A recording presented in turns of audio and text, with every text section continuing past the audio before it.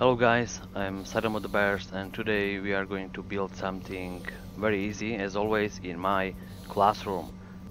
My students didn't show up again, so we will start without them. We will need two logic switches. One will be a dial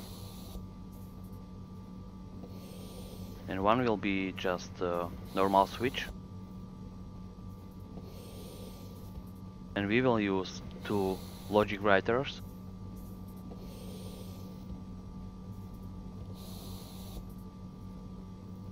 and LED light.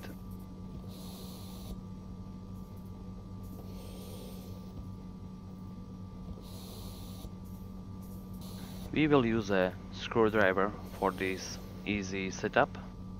So, this logic writer will read the switch as an input.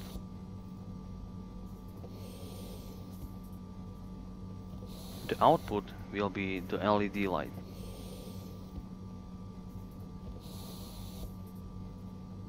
And the variable will be just on. So let's try it.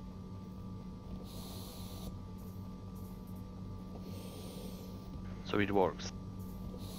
Now we will set the dial, let's say to number 10.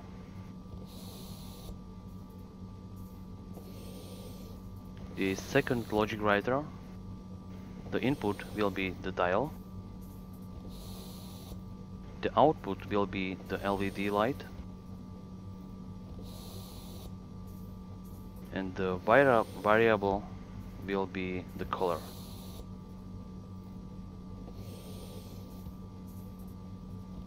So let's try it. Now the LED is on, but we can change the color with the dial. Very easy.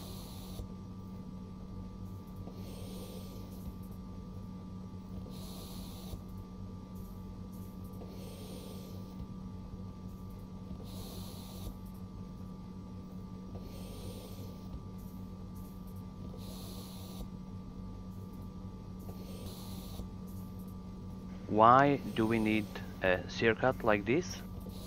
You can use it for a pressure in your pipes. Let's say if the pressure is okay, it will be white. If the pressure is a little bit higher, it will be green. If the pressure is too big, the LED light will turn red. So you can use it for basically anything. I have an idea how I will use this design in my next video but I can't promise anything because I need to uh, test it and build it first but if you like this video guys uh, subscribe for more. Thank you very much for watching. Bye bye